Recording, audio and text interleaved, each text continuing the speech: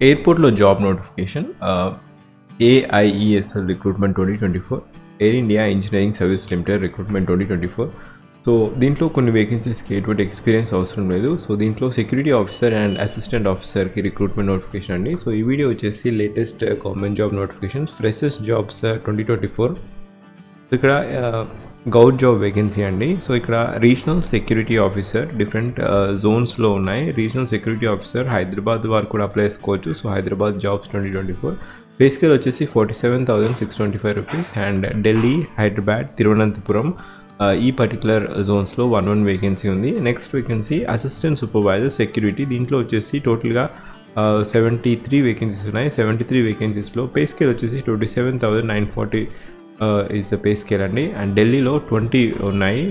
Total number of vacancies Delhi zone twenty ముంబైలో thirteen నాగ్పూర్లో twelve Calcutta eleven and Thiruvananthapuram ten Hyderabad five vacancies ఉన్నాయి. And చెన్నైలో two vacancies ఉన్నాయి.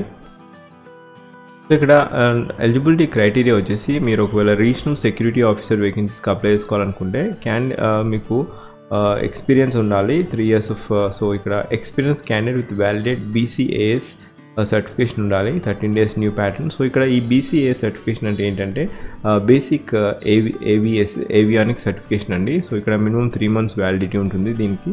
So ఇక్కడ మీరు regional security ఆఫీసర్కి apply చేసుకోవాలనుకుంటే మీకు అర్హత వచ్చేసి గ్రాడ్యుయేషన్ చేసి ఉండాలి. మీకు ఈ సర్టిఫికేషన్ ఉండాలి. Must process BC BCA certification ఉండాలి. సో ఇది వచ్చేసి మీకు బేసిక్ ఏవియేషన్ సర్టిఫికేట్ దాంట్లో మీరు BCA certified XBIC scanner screener valid certification ఉంటుంది. దాంట్లో మీకు బేసిక్ ఏవియానిక్ సంబంధించిన ట్రైనింగ్ ఉంటుంది. అప్రాక్సిమేట్గా త్రీ మంత్స్ వ్యాలిడిటీ ఉంటుంది. సో ఆ పర్టికులర్ ప్రిఫరబుల్ అది ప్రిఫరబుల్ అండి నాట్ మ్యాండేటరీ సో ఒకవేళ మీకు ఆ సర్టిఫికేషన్ లేకుంటే మిమ్మల్ని నెక్స్ట్ లిస్ట్లో ఉంచడం జరుగుతుంది. ఒకవేళ ఆ సర్టిఫికేషన్ ఉన్నవారైతే మిమ్మల్ని ప్రయారిటీ ఇవ్వడం జరుగుతుంది. Professions in fire fighting knowledge of industrial security knowledge of disaster management knowledge of unarmed combat legal knowledge ఇంకా knowledge of word internet NCC ఇవన్నీ సర్టిఫికేషన్స్ వాళ్ళు ప్రిఫర్డ్ ప్రిఫరబుల్ ఈ పర్టికులర్ వేకెన్సీస్కి అంటే రీజనల్ సెక్యూరిటీ ఆఫీసర్కి సో ఇక్కడ ఓన్లీ ఫర్ ఆర్ఎస్ఓ వేకెన్సీస్కి అయితే ఈ పర్టికులర్ uh, మీకు five years of supervisory experience ఉండాలి.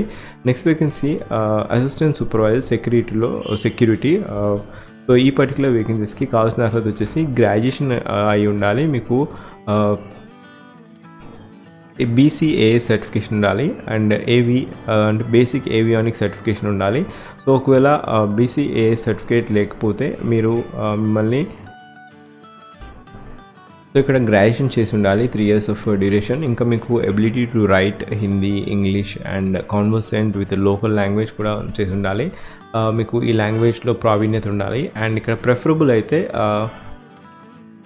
ఈ నాలెడ్జ్ వాళ్ళు ప్రిఫరబుల్ అండి. Fire fighting industrial security knowledge of disaster management knowledge of unarmed combat legal knowledge ఇంకా MS word NCC MS word మీద ఇంకా ఎంఎస్ ఆఫీస్ మీద నాలెడ్జ్ ఉండి అండ్ ఎన్సీసీ సర్టిఫికేట్ ఉన్న వారికి ప్రయారిటీ ఇవ్వడం జరుగుతుంది. ఒకవేళ ఈ సర్టిఫికేషన్ లేకపోతే మిమ్మల్ని సెకండ్ లిస్ట్లో పెట్టడం జరుగుతుంది. ఎవరైతే అప్లై చేస్తారో వారందరికీ ఎలిజిబిలిటీ ఉంటుంది. సో ఇక్కడ అసిస్టెంట్ వేకెన్సీస్కి మీకు one year of security supervisor experience ఉండాలి. అండ్ ఇక్కడ assistant supervisor security graduation any graduation graduate ఇంకా ఎక్స్ సర్వీస్ మ్యాన్ అప్లై చేసుకోవచ్చు. సో ఇక్కడ graduation with ability to speak in Hindi English and conversant with local language మీకు వచ్చుంటే మీకు ఈ పోస్ట్కి ఎలిజిబిలిటీ ఉంది.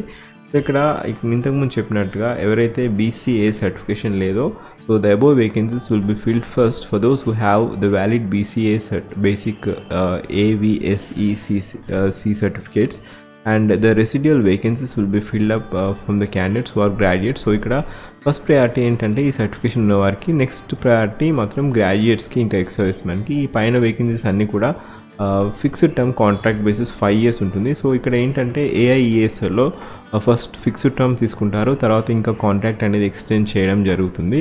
ఎందుకంటే ఒకవేళ పర్మనెంట్ ఎంప్లాయీకి ఎంప్లాయీగా తీసుకుంటే మీకు అదర్ బెనిఫిట్స్ ఇవ్వాలి కాబట్టి ఫస్ట్ ఫైవ్ ఇయర్స్గా కాంట్రాక్ట్ తీసుకుంటారు.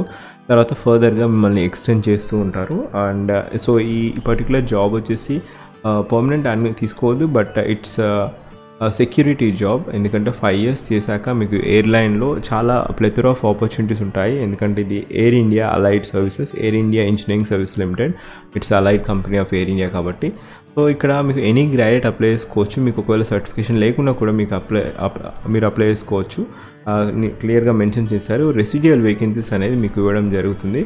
ఎవరికైతే ఆ సర్టిఫికేషన్ లేదో వారు ఈ పోస్ట్ కూడా అప్లై చేసుకోవచ్చు అన్ని వేకెన్సీస్కి సో ఎలిజిబిలిటీ క్రైటీరియా ఈ వేకెన్సీస్కి ఎక్స్పీరియన్స్ క్యాండిడేట్ ఇక్కడ సోషల్ సెక్యూరిటీ ఆఫీసర్ వారికి ఫార్టీ ఇయర్స్ అనేది అప్రేజ్ క్రైటీరియా. ఒకవేళ అసిస్టెంట్ సూపర్వైజర్ అయితే థర్టీ ఫైవ్ ఇయర్స్ అనేది అప్రేజ్ క్రైటీరియా. ఇంకా రిలాక్సేషన్ కూడా ఉంది. ఎస్సీ ఎస్టీ వారికి five years of age relaxation ఉంది. ఇంకా ఓబీసీ వారికి three years of age relaxation ఉంది. అండ్ మరో మోర్ ఓవర్ ఏంటంటే ఇక్కడ ఈ పర్టికులర్ వేకెన్సీస్కి మీరు అప్లై చేసుకోవాలనుకుంటే మీకు ఫిజికల్ స్టాండర్డ్స్ కూడా మీకు ఎలిజిబిలిటీ ఉంది. ఎందుకంటే ఈ పోస్ట్కి మీరు అప్లై చేసుకున్నప్పుడు మీకు మెడికల్ టెస్ట్ ఉంటుంది.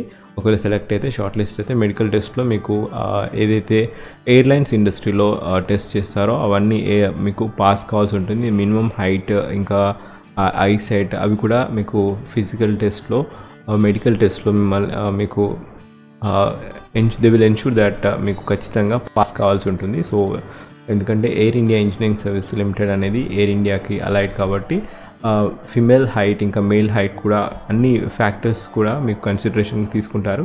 సో ఇక్కడ female height one fifty four centimetres ఉండాలి మేల్ హైట్ అయితే వన్ సిక్స్టీ త్రీ సెంటీమీటర్స్ ఉండాలి. అండ్ ఇక్కడ శాలరీ వచ్చేసి రీజనల్ సెక్యూరిటీ ఆఫీసర్కి forty seven thousand six twenty five ఉంటుంది. And assistant సూపర్వైజర్కి twenty seven thousand nine forty nine forty అనేది pay scale and ఇక్కడ five years of fixed term employment అండి. Selection procedure వచ్చేసి ఎవరైతే అప్లై చేస్తారో వారికి so selection procedure candidate who wish to apply for this post advise to print the application form and dash below and send duly మీరు application procedure అయితే మీరు speed post పంపించాల్సి ఉంటుంది. Address వచ్చేసి ఏ address to chief human resource officer AI engineering service limited personnel department second floor CRA building Safdarjung airport New Delhi so ఈ particular అడ్రస్కి మీరు application form fill చేసి attest చేసి పంపించాల్సి ఉంటుంది.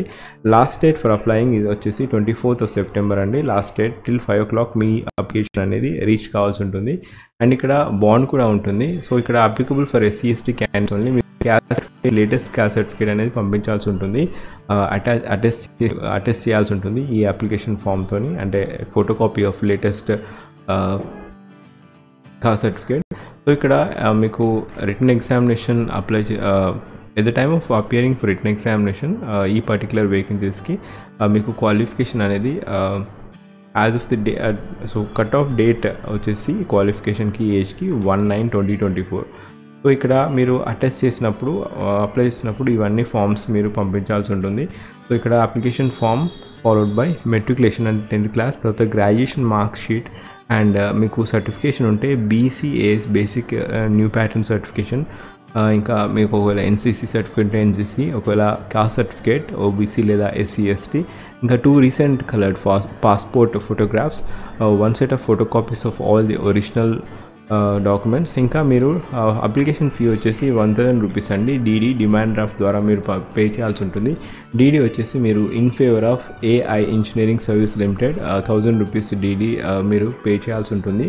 పేబుల్ టు న్యూఢిల్లీ సో ఇక్కడ ఎస్సీ ఎస్టీ వారికి ఎటువంటి ఫీజ్ లేదు. సో ఓన్లీ జనరల్ కేటగిరీ ఇంకా ఓబీసీ కేటగిరీ వారికి ఇది fee criteria so application form వచ్చేసి list of documents to be enclosed మీరు అప్లికేషన్ ఫామ్తోని డీడీ ఇంకా tenth class certificate twelfth class certificate graduation certificate and BCAS certification ఇంకా ఇవన్నీ సర్టిఫికేట్స్ అన్నీ మీరు ఎన్క్లోజ్ చేసి మీరు పంపించాల్సి ఉంటుంది.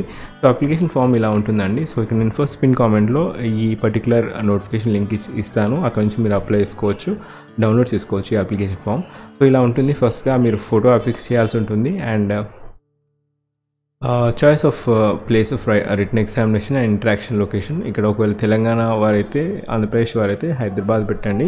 ప్రిఫరెన్స్ వన్ హైదరాబాద్ ఇంకా డిఫరెంట్ ప్రయారిటీస్ ఉన్నాయి. దాన్ని బట్టి preference one two three and full name me details date of birth ఇంకా age place mailing address pin code ఇంకా హైట్ అండ్ ఇక్కడ మ్యారిటల్ స్టాటస్ అండ్ నేషనాలిటీ మీకు ఏ లాంగ్వేజ్ వస్తే ఆ లాంగ్వేజెస్ అన్నీ రీడ్ రైట్ స్పీక్ అన్నీ అండ్ కాస్ట్ సర్టిఫికేట్ కాస్ట్ ఒకవేళ సబ్ క్యాస్ట్ ఏదైతే ఆ sub caste and whether ex service man ఇంకా ఎడ్యుకేషన్ క్వాలిఫికేషన్స్ అన్ని tenth twelfth graduation additional qualification ఏదైనా ఉంటే ఆ సర్టిఫికేషన్ మీకు ఏవి ఏవిఎస్సిసి సర్టిఫికేషన్ ఉంటే ఆ సర్టిఫికేషన్ నెంబర్ వ్యాలిడిటీ డేట్ కూడా అండ్ ప్రిఫరబుల్ క్వాలిఫికేషన్. సో ఇది కూడా మీరు ఏది ఏ పోస్ట్కి మీరు అప్లై చేస్తున్నట్టు సో ఆ పోస్ట్ ప్రిఫరబుల్ క్వాలిఫికేషన్ అండ్ ఈ వర్క్ ఎక్స్పీరియన్స్ ఒకవేళ ఉంటే వర్క్ ఎక్స్పీరియన్స్. సో ఇవన్నీ మీరు టెస్ట్ చేసి మీరు EP particular application form as well as DD ఇంకా టెస్ట్ మోడల్స్ అన్నీ మీరు పంపించాల్సి ఉంటుంది.